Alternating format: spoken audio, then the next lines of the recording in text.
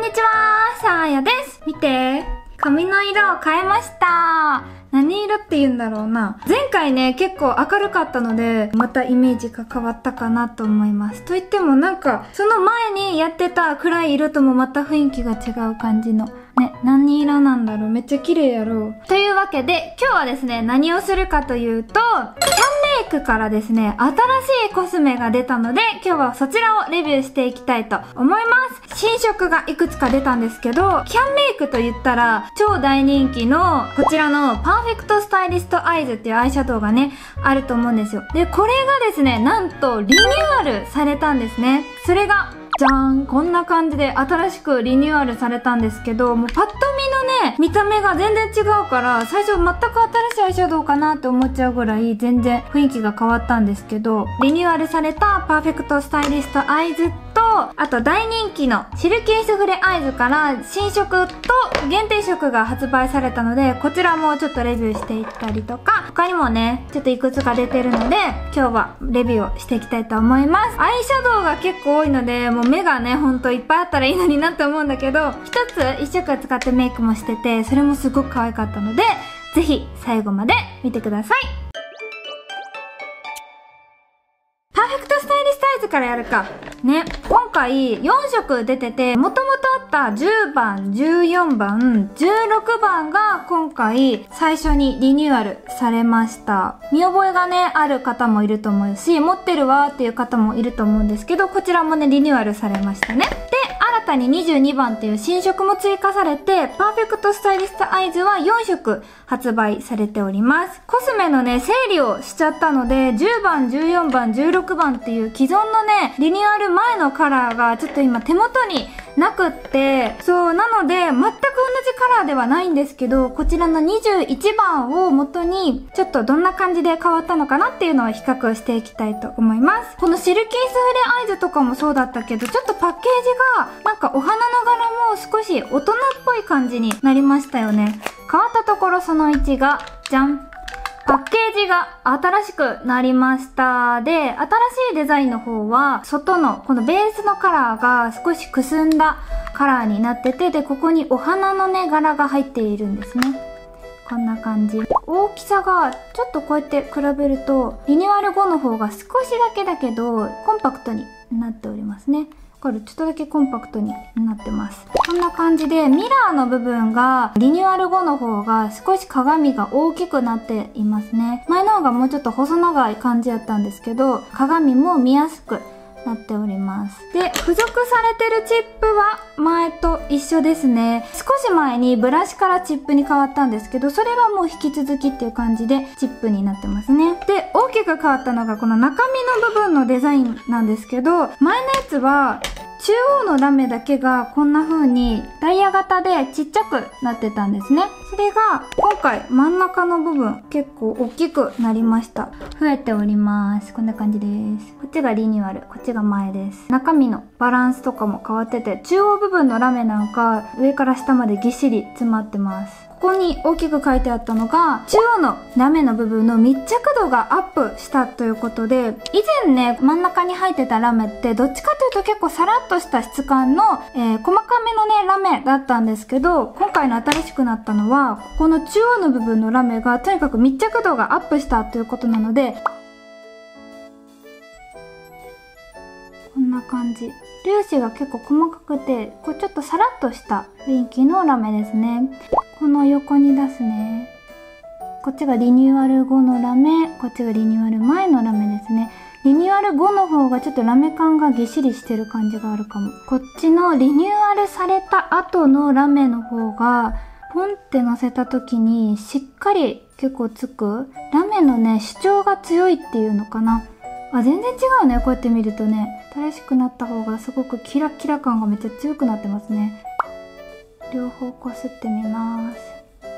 結構こすってみたんですけど、こするとこっちの方は落ちるっていうよりはちょっとどんどんどんどんこう広がっちゃった感じなんですけど、リニューアルされた後は、ここにちょっと残ってるのがわかるかなちょっと既存の色もあるので見たことあるわっていう方もいるかもなんですけど1色ずつ開けて色味見ていきたいと思います。こちら既存色のパーフェクトスタイリストアイズ10番のリニューアル同じ感じで載せてみました。この色めちゃくちゃ可愛いよね。薄ピンクのねカラーもすごく可愛いんですけどこのカラーがなんかちょっとミルクティーみたいなねカラーですっごい可愛いんですよ。で締め色結構しっかりめのブラウンになっててでこのラメめちゃくちゃ可愛いです。ピンクのキラキラのラメですね。これ密着度高いの超わかりやすいよね。指に一回取ってピッて乗せただけなんですけど、ここまでぎっしりラメがキラキラされてます。超可愛いです。で、他のカラーもしっかり発色綺麗ですね。はい、14番はこんな感じです。さっきのはすごく明るめのカラーが入ってたんですけど、この14番はちょっと暗めなカラーが入ってますね。で、出してみると、可愛いよね、すごい。これ私さ、ちょっと前に地雷メイク、地雷系メイクやったんですけど、このアイシャドウ持ってたらこの色でやったなって思った。すごく可愛いの、赤系のカラーが揃ってて。で、さっきのはこの場所かな？ピンクのね、アイシャドウがちょっとキラキラっとラメが入ってたんですけど、この4色にラメが今回はない。ちょっとシマーな感じの発色ですね。えー、シルバーのラメが入っております。これめっちゃ綺麗。あの、アディクションのさ、あの、マリアージュみたいな感じのラメですね。すごく可愛いです。16番のカラーになります。これすごい覚えがあるのが、なんかブルーのアイシャドウと、なんか2色ぐらい、パーフェクトスタイリストアイズがなんか夏ぐらいになんか3年前ぐらいかな出て、なんかレビューした記憶がめっちゃある。これ16番ですね。ちょっとゴールド系のカラーが揃ったアイシャドウです。出してみるとこんな感じ。ゴールドのすごくキラッとしたアイシャドウが入ってますね。で、ここのラメもゴールドのラメが入ってます。なんか夏にぴったりな華やかなゴールド系のアイシャドウかなと思います。こっちのカラーは新色になります。超可愛いでしょ？めちゃくちゃ可愛い。少しキラキラっとしたラメが入った薄めのコーラルピンクのカラーなんですけど、このね、下のカラーはちょっとオレンジの要素がね、強めなんだけど、派手派手なオレンジでもないし、優しいオレンジですごく可愛いなと思いました。で、ラメが、えー、シルバー系のラメになっております。かわいい、めっちゃ。で、今回こちらを使って、今、アイメイクやってみたので、ちょっと先にね、そのシーンだけ撮ったので、ちょっと見てみてください。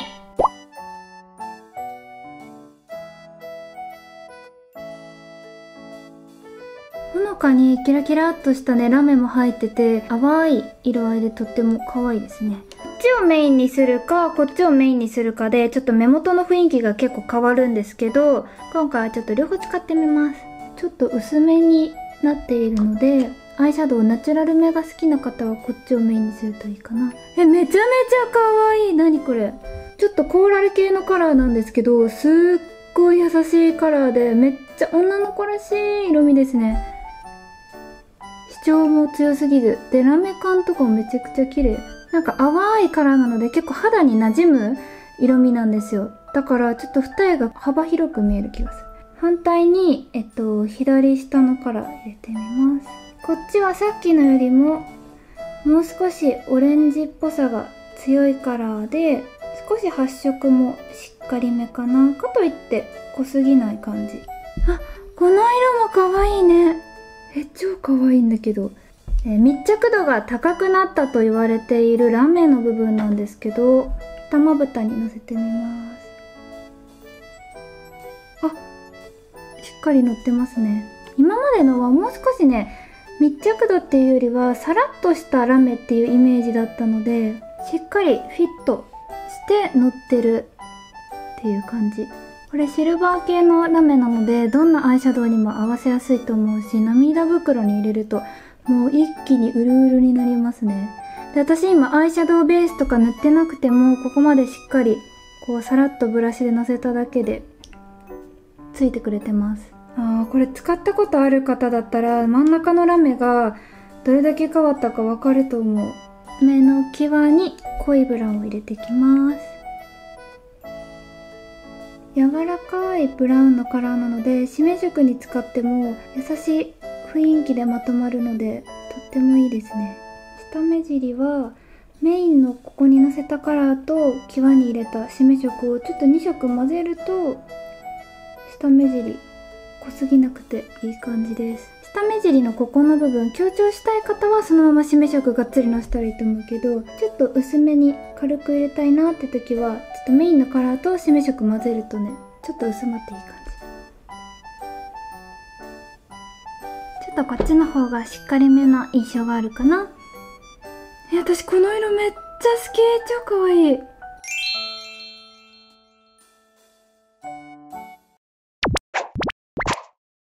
またまたちょっとアイシャドウ続きにはなってしまうんですけど、シルキースフレアイズになります。今回、えっと、04と05が出たんだけど、04は新色で、05はね、限定色になります。04番は、もともとあった02番に、ちょっとなんか似てるんじゃないかなと思って、ちょっと比べようと思って持ってきたんですけど、どうかな？こ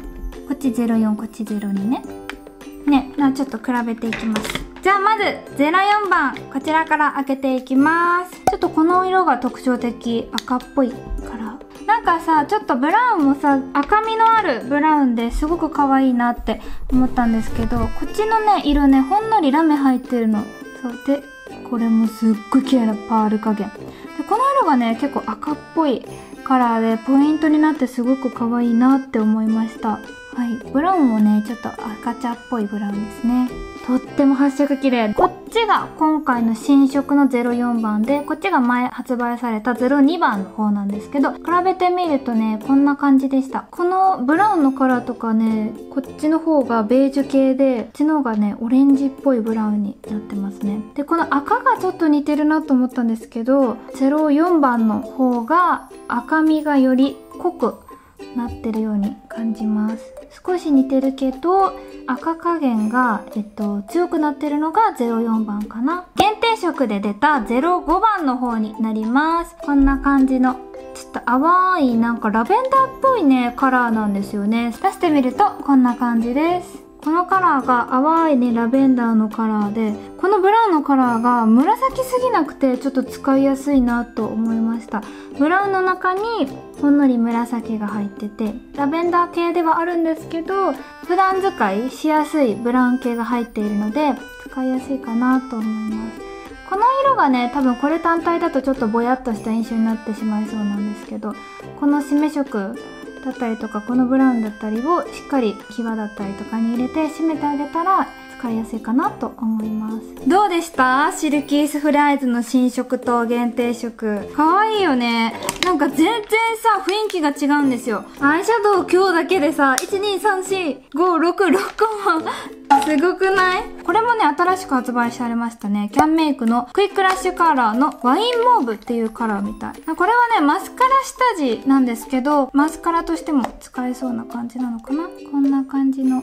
色味です。ちょっとこう深みのある赤紫っていうカラーですね。これ相性いい気がしますね。こっちも赤系だしこっちも紫っぽいからどっちも相性いいと思いますもうクイックラッシュカラーが最近めっちゃまた好きでまつげのさ形がすごく作りやすくてマスクするからさ湿気でまつげ下がりやすいんですけどこれつけてるとまつげ1日クリンってなってくれていい感じです。これはこれ1本でもまつげが可愛い色に染まるからいいなと思います。ただ長さとかは出ないけどカール力とあとまつげの形がすごく綺麗になるのでいいですね。これも今度使います。シェーディングも新色が出ました。こちらはですねイエローベース向けのカラーになってるみたいです。私このシェーディングすごく大好きでめっちゃそこ見えてるでしょ。最初はこんな柄だったんだなって思うぐらいもう柄がよくわかんなくなっちゃう。こちら04、こっち05ね。で、この04番はアイスグレーブラウンでほんのり色づく青みのあるグレー系のブラウンだったんですけど、今回新しく出たこっちの05番はほんのり色づく黄みのあるグレージュのカラーになっております。キャンメ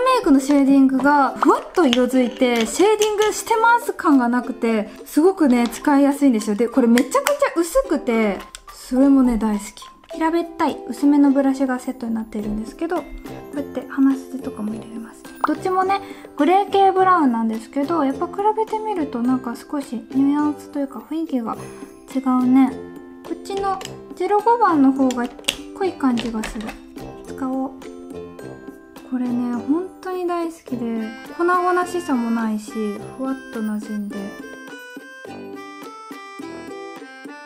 涙袋の影とかにもいいからシェーディングレビューとかにはねとってもいいと思います。なんかグレー系のシェーディングだと茶色すぎなくて使いやすい気がします。なかなか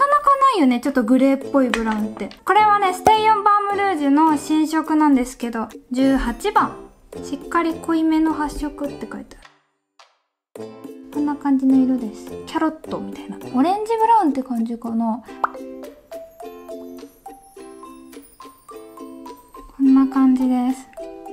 あら可愛い色ですね。ちょっと私の今日のチークとかと相性が悪いけどこれ結構リップ発色しっかりめなのでチークちょっとベージュ系にしてでアイシャドウはこの22番でもいいと思うけどあこれがいいかも。アイシャドウ04番とかでしたらもっといい感じですね。かわい。い縦じわとかもスルッと消えてで滑らかでスルスルスルって塗れるのでとっても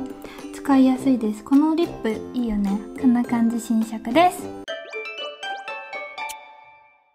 はい、というわけで、今回はリニューアルされたコスメや新色、限定色を紹介しましたちょっとアイシャドウがね、いろいろ多かったんですけど、またね、これ使ってメイク動画も撮りたいと思います。新しくなったパーフェクトスタイルスタイルも、よかったら皆さんチェックしてみてください。というわけで、今日も最後まで見てくれてありがとうございました。次の動画もまた見てねチャンネル登録お願いします。さあでした。バイバーイ。